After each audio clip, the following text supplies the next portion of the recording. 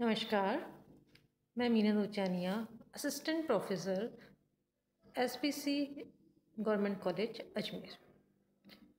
Class BSc part second paper third physical chemistry के chapter chemical equilibrium में continuous में हम लोग स्टडी करेंगे।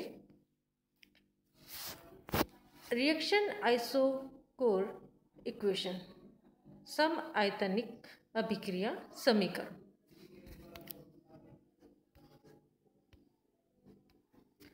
गिब्स हेल्मटोस इक्वेशन हम सभी जानते हैं, क्या होती है? Delta G is equal to delta H plus T D into delta G upon delta T at constant pressure पर। ये हो गई हमारे पास गिब्स हेल्मटोस इक्वेशंस।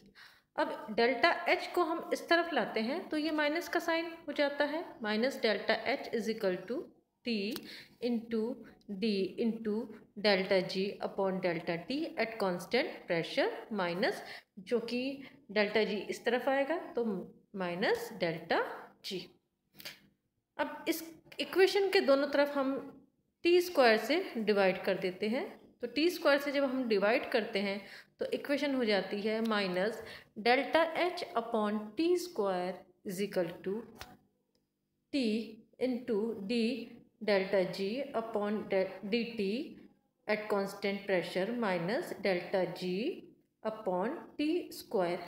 ये हमारे पास हो गई equation second. Van't Hoff equation क्या होती है? वॉन्ट ऑफ़ इक्वेशन होती है minus delta G is equal to R T into L N K P. ये हमारे पास हो गई इक्वेशन थर्ड, जिसे हम कहते हैं वॉन्टॉफ समतापी। के अकॉर्डिंग, टी हम लोग नीचे ले आते हैं। जब टी नीचे लाते हैं तो ये हो जाती है delta G upon T is equal to minus का साइन यहाँ आ जाता है, minus R into L N K P.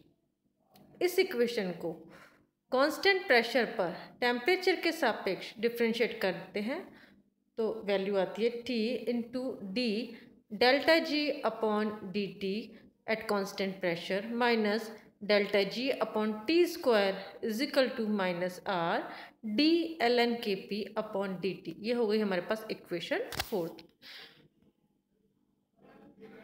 अब इक्वेशन सेकंड और इक्वेशन फोर्थ ये हमारे पास इक्वेशन सेकंड हो गई और इक्वेशन फोर्थ इक्वेशन सेकंड में हम ये देख पा रहे हैं कि ये किसके बराबर है इक्वेशन फोर्थ में? सॉरी ये इक्वेशन सेकंड में किसके बराबर है? Minus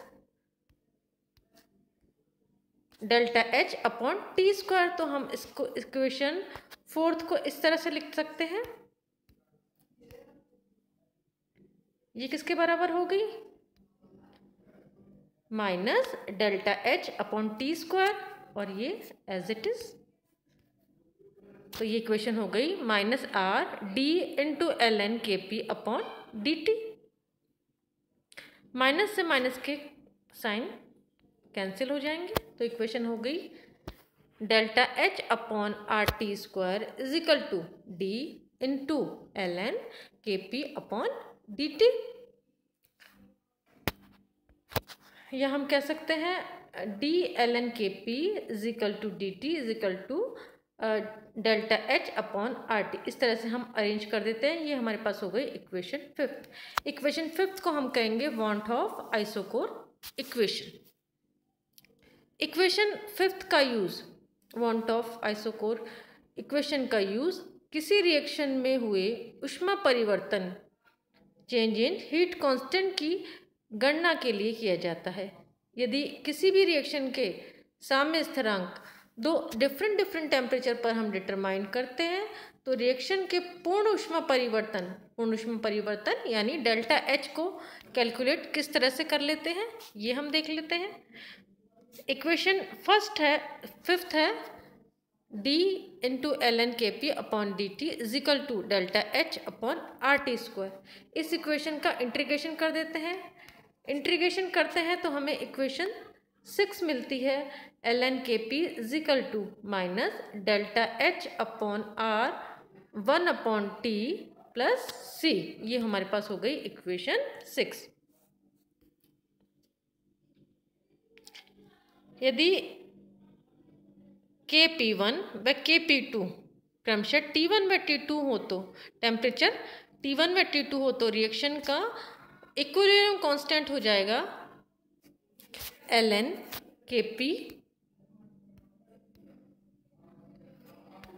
is equal to minus delta H R T one plus C ये ए इक्वेशन हो गई। इसी तरह से दूसरे टेम्परेचर टी टू पे हमारे पास इक्विलिब्रियम कांस्टेंट हो जाएगा L N K P two is equal to minus delta H upon R T square plus C ये हो गई इक्वेशन बी अब इक्वेशन बी में से इक्वेशन ए को हम लोग माइनस करते हैं। तो इक्वेशन जो आती है हमारे पास वो इस तरह से होती है।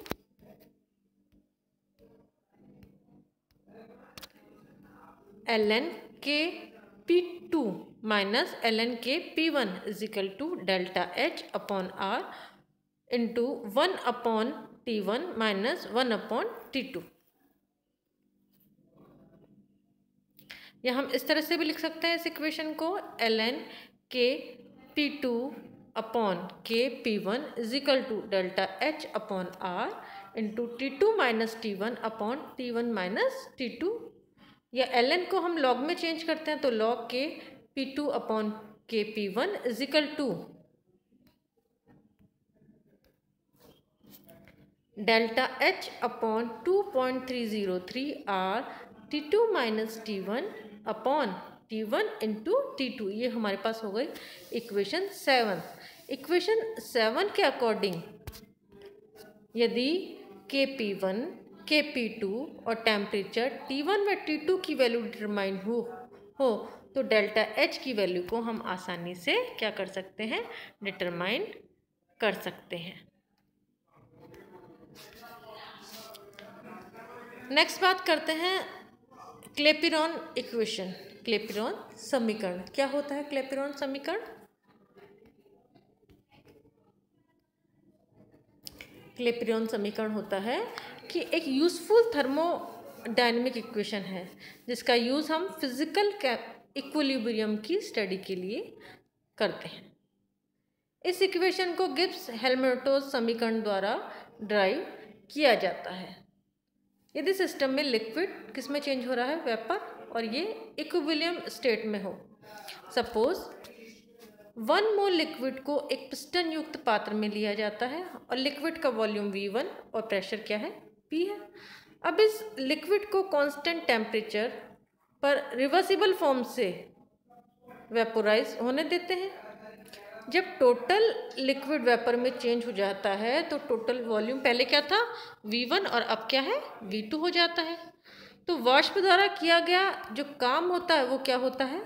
W is equal to P V two minus V one ये हो गई हमारे पास इक्वेशन फ़र्स्ट अब इक्वेशन फ़र्स्ट का डिफरेंशियल करने पर टेम्परेचर के रिस्पेक्ट में D W upon D T is equal to V two minus V one into D P upon D T ये हो गई हमारे पास इक्वेशन सेकेंड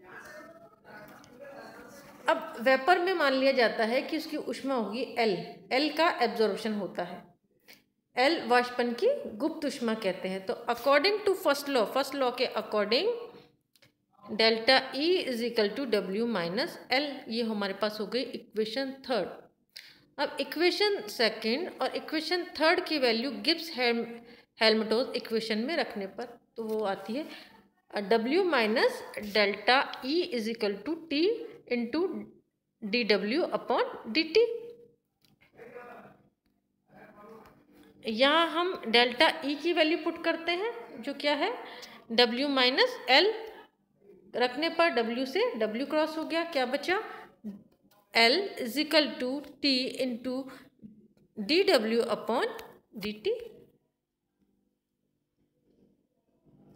तो इक्वेशन सेकंड के द्वारा L is equal to T V two minus V one into D P upon D T तो इसको अरेंज करते हैं तो वैल्यू आ जाती है हमारे पास D P upon D T is equal to L T upon V two minus V one ये हमारे पास हो गई इक्वेशन फोर्थ इक्वेशन फोर्थ को हम कहते हैं क्लेपिरॉन इक्वेशंस इक्वेशन फॉर्म को अगर नॉर्मल फॉर्म से डिफरेंट फॉर्म से डिफाइन करें तो इस तरह से हम डिफाइन कर सकते हैं D P upon D T is equal to L की जगह हमने क्या रख दिया? यहाँ delta H upon T V two minus V delta H क्या है वहाँ?